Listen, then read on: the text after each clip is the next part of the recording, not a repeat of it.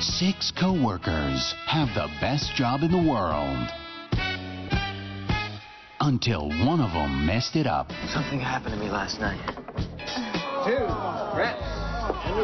Where's the money? Joe, the money is gone. Their store is now on the verge of being shut down. I have to pay for what Mr. Brilliant here did. Liv Tyler, Anthony LaPaglia, and Renee Zellweger. I'm the idiot. You're the screw up, and we're all losers. If you want to know more, then check out the store. Empire Records, Saturday at 7 p.m. KSA on Cinema City.